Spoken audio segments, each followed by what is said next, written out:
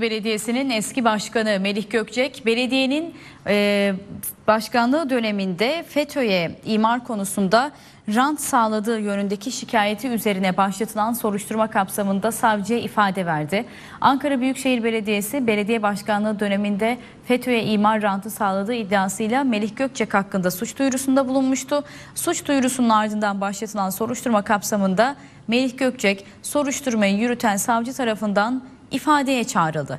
Yaklaşık 2 saat savcıya ifade veren Gökçek çıkışta yaptığı açıklamada hakkında çok sayıda şikayet olduğunu söyledi.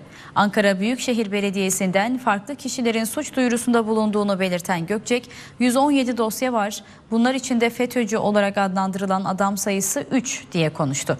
Gökçek'in Ankara'daki imar uygulamalarına yönelik iddialarıyla dillendirilen dönemin hükümet sözcüsü Bülent Arınç olmuştu ve Gökçek bu yapıya Ankara'yı parsel parsel satmıştır. Zengin iş adamlarına okul yaptırmıştır.